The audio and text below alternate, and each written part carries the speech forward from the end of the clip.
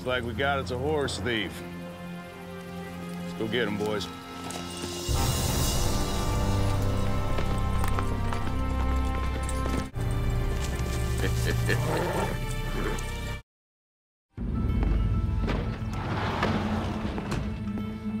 Get up. Abel here tells me he caught you stealing one of our horses, red-handed. Like I told him, Colette gave me the horse to return it to the Kleins. You know what we do to horse thieves. We're gonna handle this one by the books. I'm taking you into town.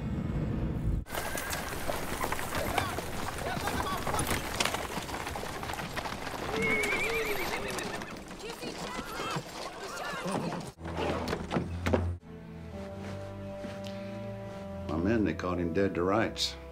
Oh, it's true enough. I'm an eyewitness along with my men.